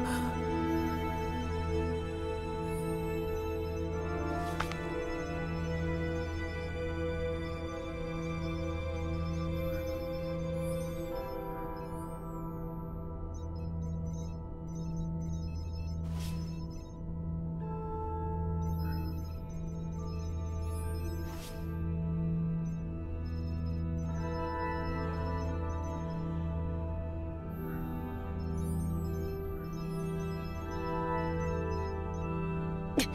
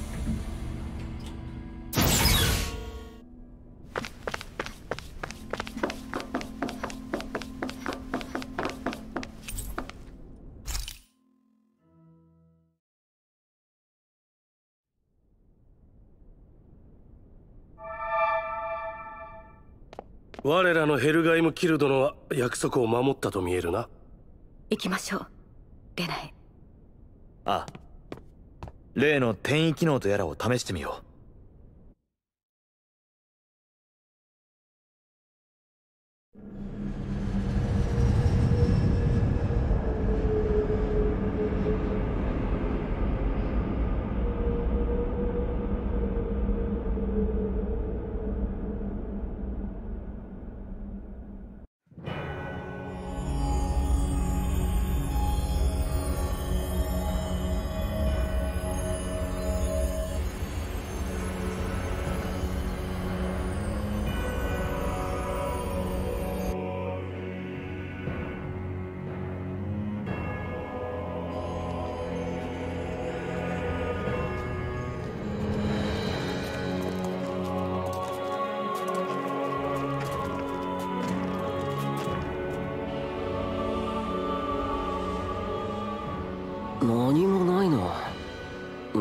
かしこも妙な感じの海が広がってるだけだ。これがヘルガイム・キルの故郷なのか？精霊力を全然感じない。死んでるよこの世界。これは全て虚水だ。まさかこの海が全部。世界全部を覆うほどの虚水？それって。レナの精霊がこの世界の精霊力を取り尽くしちゃったんだ。それでダナを。美しいが死の世界か。きっと昔はダナと変わらない世界だったんだと思う。でも長い間精霊が精霊力を取り込み続けたせいでこんなになっちゃったんだよ。生き物だけでなく大地や海あらゆるものから奪い続けたのか。ヘルガイム・キルは自分たちの世界がこんな風になるまで精霊に仕えさせられ続けたのね。それどころか今も自分の世界を食い尽くした挙句今度は私たちの世界を食らおうとしているのだな。止めない限りダナもこうなっちまうのか？そして最後にはこのレナのかろうじて残っている部分さえなくなるのかもしれん。ああ。それがシオンやネビリの見た破滅なんだ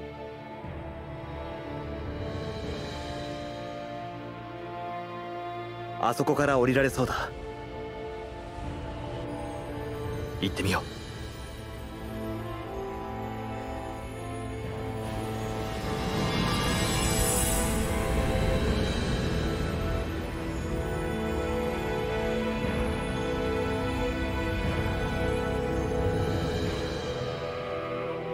これがレナ。全てがここから始まったっていうのに。死の世界だなんて。ダナまでこうはさせない。させてたまるか。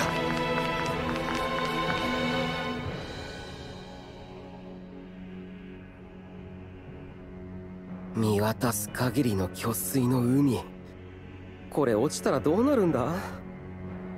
どうってやっぱり溺れるのかな？言われてみれば試みた話は聞いた覚えがない栄えある先陣を切ってみるかね。遠慮しときます。ここはいわばレナそのものの墓場だ。死者の眠りをかき乱す真似は賛成できないぞ。ロいや俺何も言ってねえけど。そうね。興味を持つのは悪いことではないけど礼節はわきまえるべきだわ。とりあえず怒られるみたいだね。また落ちてすらいねえよ王と巫女の力で精霊をレナスアルマに封じるとは言うけどよ。実際どうやるんだ？確かに。奨励の儀そのままというわけにはいかないはずだな。精霊力を操るのは300年前に経験済みだ。シオンも茨を抑え込んできた経験がある。問題は相手が強いだけでなく意志を持った存在だってことだ間違ってもされるがままってことはないだろう。あらかじめ弱らせる必要があるということね。精霊を。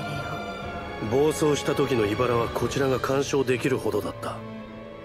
その本体ともなれば密度ははるかに上だろう。よく言えば私たちの方からも攻撃できるってことだね。それで一時的にでも力を分散させられれば。弱らせてその隙にレナスアルマを奪い取ってでもってそれに封じ込めるってか。難問だらけだけど腹くくるっきゃねえか。全てうまくいったとしてなあ言ったとしてだぜ。この先どんな世界になるかか？なあやっぱ何もかも今と違っちまうのかな。間違いなく多くのことが変わるだろう。むしろそれが上辺だけにとどまらないかが心配だ。どういうこと？レナがダナを支配するのが終わってもその逆が始まっては意味がない。それってダナがダナをでもだよね。レナダナ精霊術魔法使い。我々が己と他とを隔てる名目には事欠かないそういうものが全部ちょっと手先が器用とか楽器が上手というのと同じになればいいのに違いとしてではなく特徴として力を持つ者がその範を示し続ければ皆習おうそしてあるいはいつの日か示す者がいなくなってもそれが当たり前になる。だったら私たちが示そうよ。魔法使いや精霊術使いが当たり前のように人のために力を使う世界になるようにって。リンウェル。そうね。それがこれからの私たちの務めね。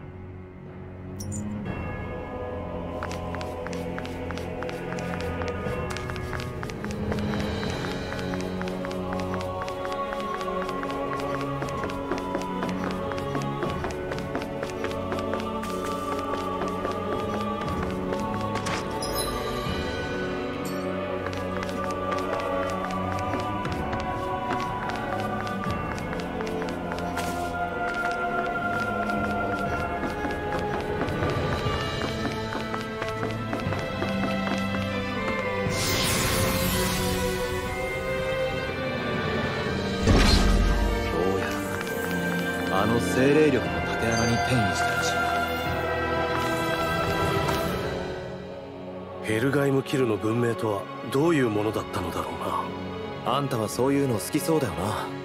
優れた文明だったのは間違いない。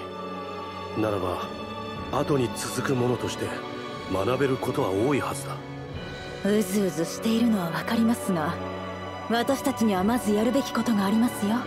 老後の楽しみにとっておけよ。隠居して趣味に没入できるならそれもいいがこの場所は老体には厳しそうだ。真剣に考えてる老後の夢くらいは好きにさせてもらいたいな。夢を持つのが悪いとは思わないけど。まあティオハリムの場合うっかりすると夢で済まなくなりそうだしな。生涯現役でいていただくしかないな。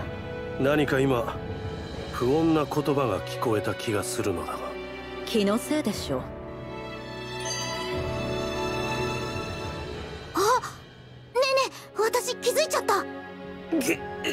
作った飯手抜いたのバレた違うよって何手を抜いてたの話がそれてるぞリンウェルああそうだったあのさレナの装甲兵の鎧って中身は普通のレナ人が入ってるよねああ着てるやつの力を強くする仕掛け付きなんだっけかそうそれあれってさなんであんな大きいんだと思う敵を威圧するためじゃねえの？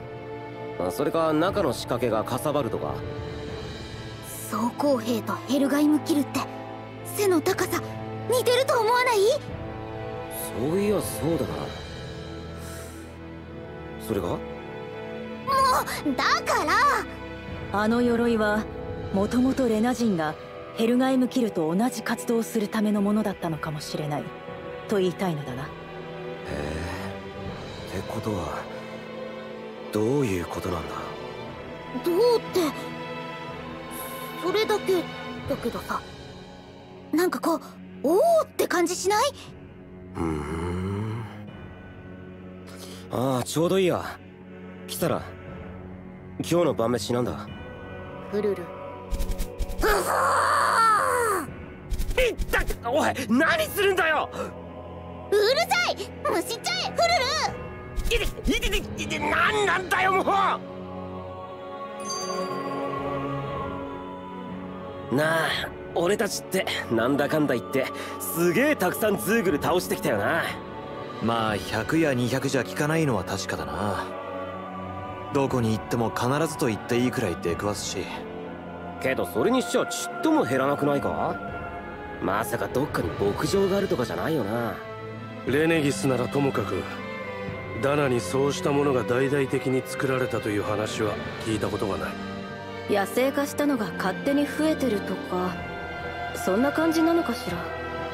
こっちは組織的に飼っているわけでもないし全滅させるのは難しいだろうな。全滅？あそれはちょっとかわいそうじゃない？リンベル？だって元はダナやレナの生き物なんでしょ？それが改造されたものだって。そうね。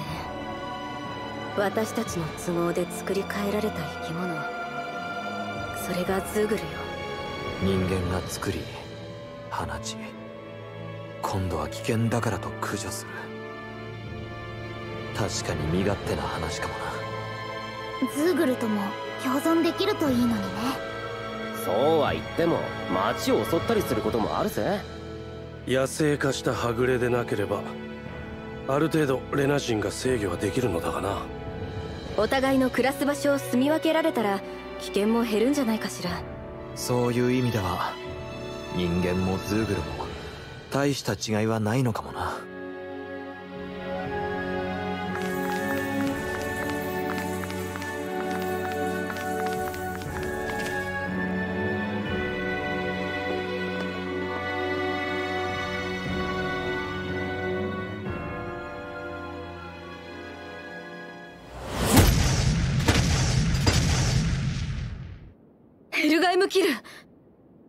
もう赤い女のふりをする必要もないってか。待て。言葉はわかるか？ダメだ。こちらの言葉は届いていない。やはり操られて。やるしかないのか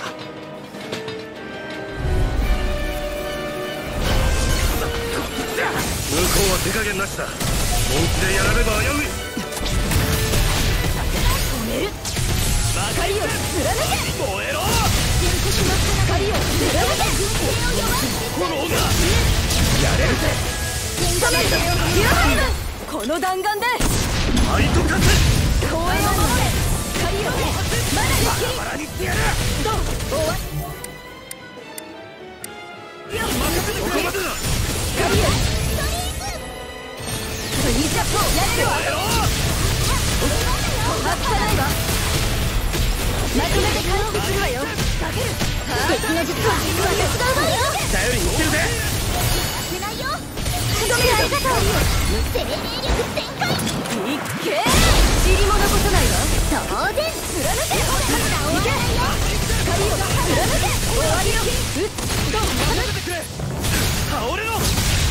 光を貫けの灼熱のバーンストライ今仕留めるぞの灼熱のバーンストライ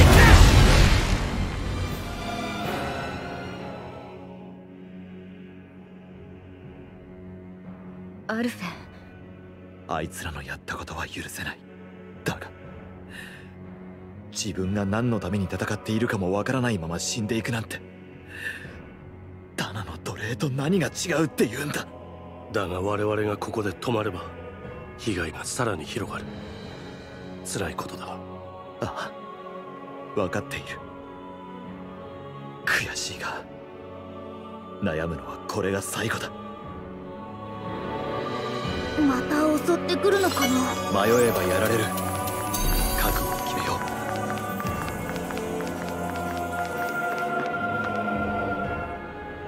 虚水の下はまだ地面があるのかと思ったら何もかも人工物なんだなヘルガイム・キルの遺産だろう。元の大地はほとんど残っていないようだ。これが世界の中心まで続いているの？ものすごい規模だよ。レネギスを作っただけのことはあるってことか。これほどのものを作る力があったのに全て精霊のためでしかなかったのだな。いやむしろこれほどのものが作れたばっかりにか。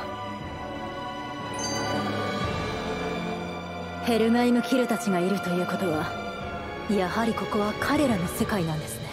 真のレナの民。それが今では精霊の空物か。成し遂げた技の高さを思えば偉大と呼ばれるにもふさわしかったろうに。分かり合う道もあったのでしょうか？もし違う出会い方をしていたなら。我々のようにかね？何とも言えんな。こちらを同等の存在とみなしたかどうかもわからん。それでも可能性はあったかもしれません。レナの精霊がそれを閉ざしたんです。君といいアルフェンといい物事の望ましい面を信じたがる傾向が強いな。愚かと思いますか？いやむしろ核ありたいと思う。悲劇の後にはそれが必要だ。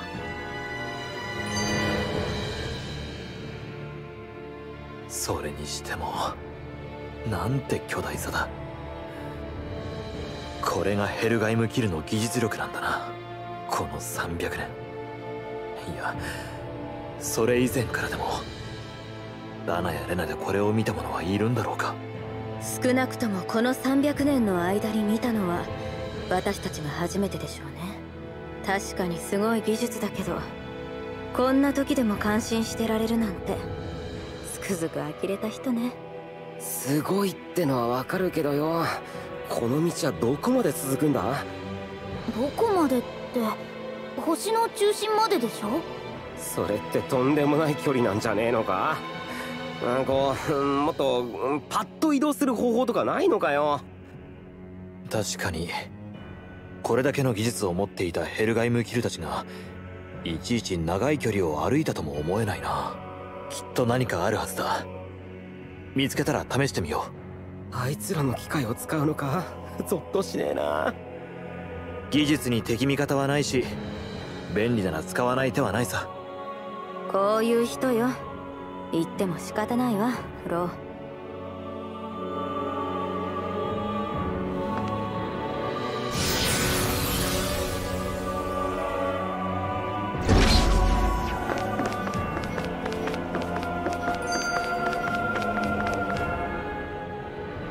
レナ人がヘルガイム・キルみたいに直接心を操られてないのって。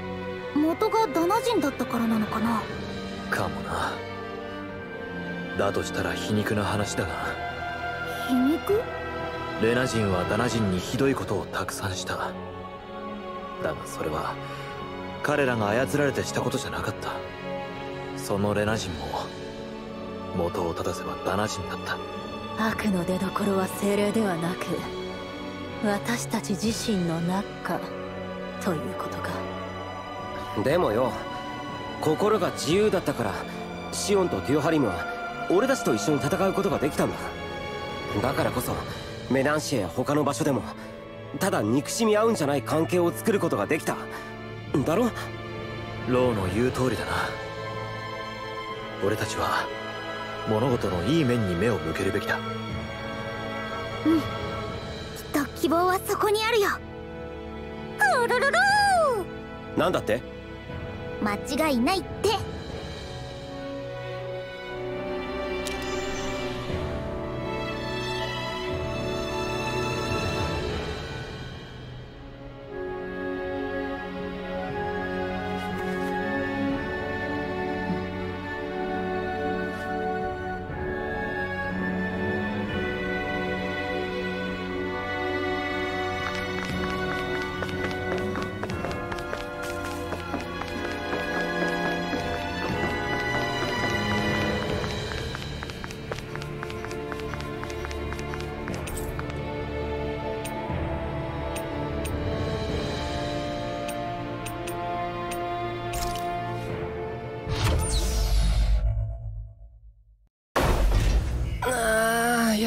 休みて。ーたまには羽を伸ばすか。でも財布の紐はい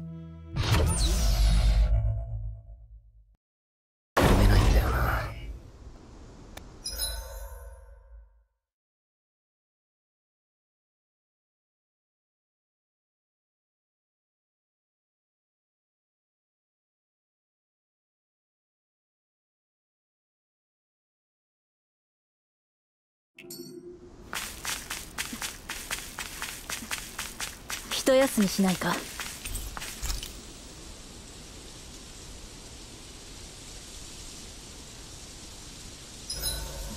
何？ジロジロ見てるのよ。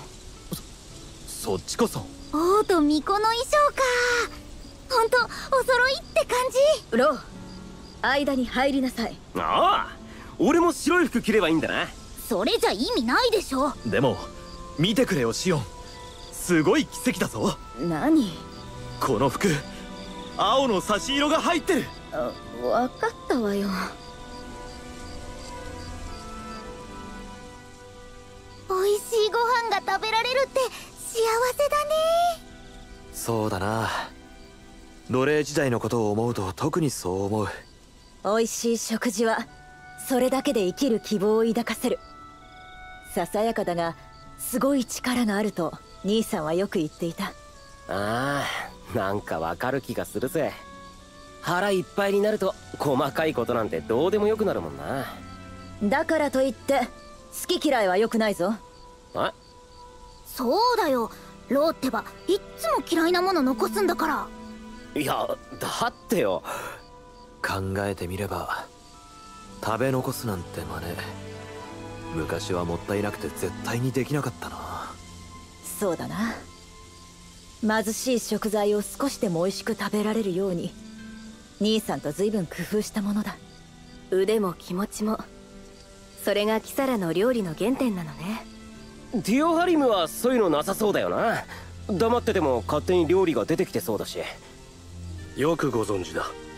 否定どころか気遅れもないんだな。うん。昔のことだがそれで一つ思い出した。ん？普段食べているものが元は魚や獣だったと知った時はなかなかの衝撃だった。自分が何を口にしてるか知らずに食べてたの？さすがは元鋭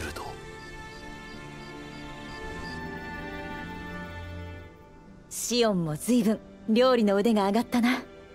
料理の楽しさを教えてもらって感謝しているわみんなに喜んでもらえるのも嬉しいし。けどシオンが料理当番の時って食材がすごく減るんだよな。あれなんでなんだ？そういえば用意する食材の量と出来上がる料理の間になんていうかかなり食い違いがあるな。野菜とか炒めたら傘が減るのは普通じゃないの？意外と失敗作は全部自分の胃袋に入れてたりしてそんなごまかすようなことはしていないわ。じゃあなんでだ？うん。一つ推論してみよデュオハリム？う彼女はこう見えて健単家だ。そして料理には味見がつきものだろう。私の見る限りここ最近の彼女の足跡は以前より深くなっている。導き出される推論はつまみ食いか。シオンは気痩せする体質だったのだな。ちょっと羨ましいかな。なんだ？それってつまりシオンが重く？私が何？いやなんでもない。シオンさっきの戦いだけど。ごめんなさい。油断したわ。そういうことじゃなくて。もっと自分を大切にしてくれ心配いらないわ。私はどうせ死なないのだし。あなただって痛みを感じなかった頃は自分の傷なんて気にしてなかった。それと同じよ。確かに前の俺はそうだった。でもそうじゃないんだ。何が違うっていうの。自分で今そうだったって言ったじゃない。今はもう違う。それはあなたが痛みを取り戻したから俺はシオンに傷ついてほしくないんだ。あ。シオンの言う通り痛みを感じなかった頃の俺はそれで色々無茶をした。周囲に言われてもピンとこなくてそれで心配をかけました。バカだったさ。だけど痛みとか不死身とかそんな話じゃないんだ。俺はシオンが血を流すのを見たくないんだ俺はおかしなことを言ってるのか？いいえ。私だってあなたが血を流すところを見たいとは思わないから。相手は手加減してくれない。それでも自分を捨てるような戦い方はしない。それでいいかしら？俺もきつい物言いをしてすまなかった。けど本当に自分のことは大事にしてくれそうするわ。それを選べる限りはね。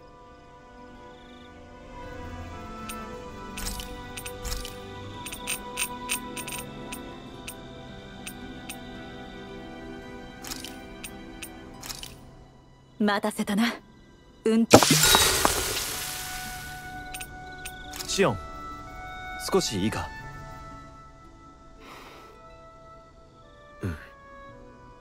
何か話があるのかと思ったけど。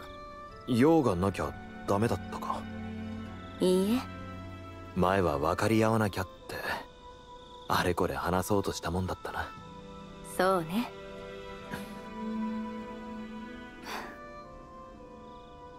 ねどうした？えそのよかったら一緒に作らない？な何をだ？何ってその夜食なんだけど。え？夜食？あのああ夜食ね。もちろんあそうだよな。うん。何だと思ったの？いいや何でもない。気にしないでくれ。それで何を作るんだ？この材料見覚えはある？これはで塩覚えていた？そう。私たちが初めて一緒に食べた料理。あの時は随分不評だったけど。根に持たれてたか。悪かった。冗談よ。これにしたのは手軽に作れるし夜食にちょうどいいから。さあ始めましょう。二人でならすぐできるわこれをまた二人きりで食べる日が来るなんて思わなかったな。あの時と今思えばいろんなことが変わったわね。食べているものは同じなのに。食べているものだって変わったさ。あの時よりずっとうまい。あれ以来私もあなたもそれなりに経験を積んだもの。味だけじゃないんだ。なんていうか食べていることが楽しい。ええ。わかるわ。戦いのこと世界のこと大変なことが全部終わってもこうして食べることだけは変わらないんだろうな。そこは変わりようがないわ。生きている限り食べるんだから。その時もこんな風だといいな。さすがにもう野営はしてないと思いたいけど。もちろん家の中だ雨の心配のない屋根の下で焚き火でなく暖炉があって。丸太でないちゃんとした椅子に綺麗なお皿を並べる大きな食卓。急ごしらえでない台所。ご飯時にはその台所で一緒に。並んで。あちょちょっと作りすぎたみたいだな。食べきれない。そそうね。もったいないし誰かまだ起きてないか見てくるわ。一緒にか朝食は期待してるわよ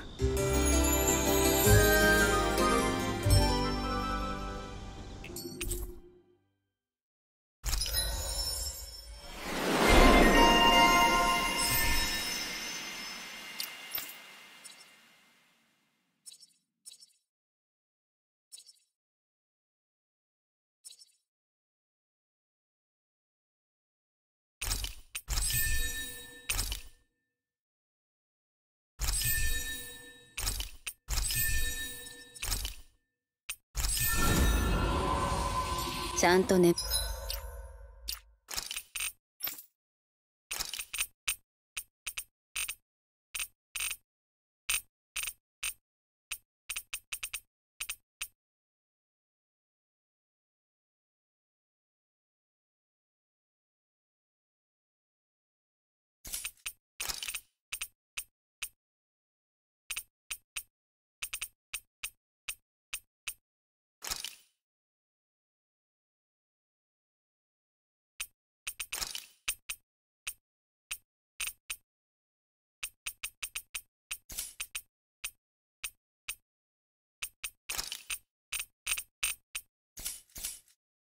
蒸れた？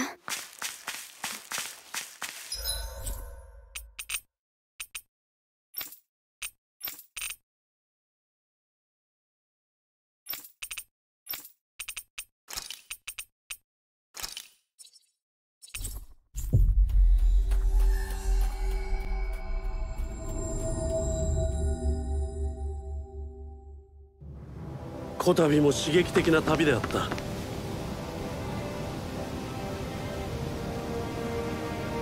うん。はい。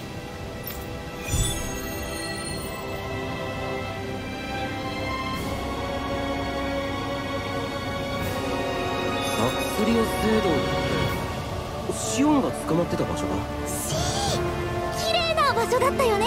楽しみ。なんだロー鍛錬の帰りか。ああつい夢中になっちゃってさ。下着まで汗びっちゃびちゃだぜ。私は兄さんや近衛の連中で慣れているが他の女子の前でそういう発言は控えた方がいいぞ。ああリンウェルとか顔真っ赤にしそうだよな。別にリンウェルとは言ってないがだあああほらあいつ呼びもしないのに視界に入ってくるからさそれはお前がいつも無意識にリンウェルがどこにいるか気にしてるってことじゃないか？いつの時代にも青春はあるのだな。お俺はリンウェルみたいなおてんば気にしてねえし。どうせならもっとキサラみたいに大人っていうか。私も彼女くらいの頃はおてんばだったぞ。いや別におてんばが悪いってことじゃなくて。だってあいつのやんちゃっぷり半端じゃないだろ。ねえねえ何の騒ぎ？ゲリンベル。うん。サンダーブレーうわなんだよ急に。ドローが私の悪口言ってたって。フルルが。ふう。ローの一番のライバルはフルルかもしれないな。それもまたよし。春には嵐がつきものだシオン最近アルフェンと仲良くしてる？急にどうしたの？何の話？ごめん。気になって。ほら前はアルフェン通覚がなかったけど今は違うから。そうね。正直彼の通覚が戻ってから出会えば悩まずに済んだのにって思うこともないわけじゃないけどそれでもああいう形で出会ってなかったらこの気持ちだってなかったはずだし。難しいわね。気持ちはわからなくもない。形は違うが私も永遠に触れることができない相手がいる。ミキューダのことね。だがアルフェンは生きているだろう。それにまだ未来がどう転ぶかわからないんだ。そこまで不安になる必要はないと思う。私だってシオンに触れたこと一度もないけど。でも私がシオンのことどう思ってるかは伝わるでしょ？そうね。出会った頃の私への態度きつかったものね。いや昔はほら私もあまり何も知らなかったし。えじゃなくて言いたいことはわかるわ。ありがとう。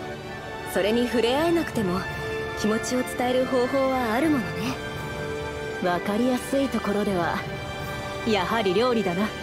特に相手の好みの料理は効果絶大だ。思うところがあるなら料理に込めてみてはどうだ？そうね。やってみるわ。アルフェンの好みに合わせると私たちが大変なんだけどまあここは応援ということで私たちも頑張ろう。な。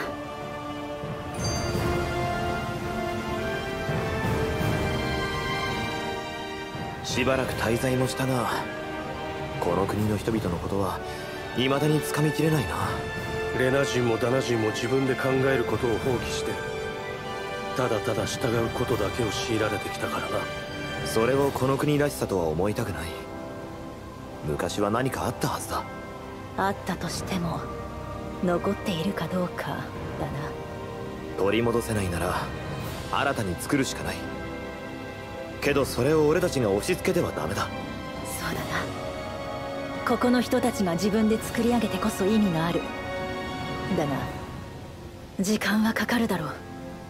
そこは焦っても。なんだ？敵か？ごごごめんなさい。大きな虫が飛んできたものだから思わず。虫？ズーグルか。別にズーグルかどうかで撃ったわけじゃないのではないか。密林と湿地に覆われた土地だからな。メナンシア以上に虫には居心地よからん。物の本によれば人間の食べ物にいつの間にか卵を産みつけて増えたりもするとかああ見えて虫もたくましいんだな。アルフェンは平気なの？まあ好きってわけじゃないけど上をしのぐのに食べたこともあるし。ほう虫を。どう調理するのかねティオハイム珍味の話ではないですから。あトカゲ。こ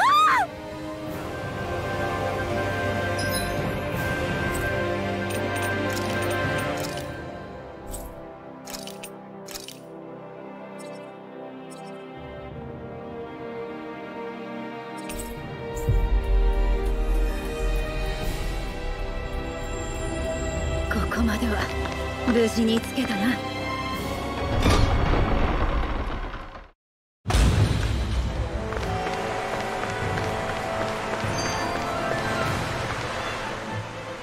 考ええたらアルフェンってずっと鎧着てるけど熱くないのか？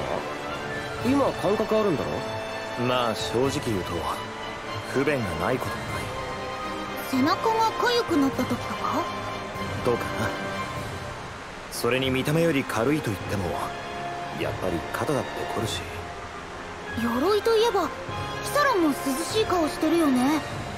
鎧は心で着るものだ。さすが元この衛兵。意味よくわからないけど。もっと深刻な問題だってあるんじゃねえの？まあそれこそ急に小便したくなった時とか確かにちょっとめんどくさいな慌てると挟みそうになるし。それヤバすぎるだろ。いっそ普段は全部脱いどいた方がいいんじゃねえか？いつ敵が襲ってくるかもわからないからな。命には変えられないさ。用を足してる最中に襲われたらどのみちどうしようもなくないか？なあリンウェル。怒るよ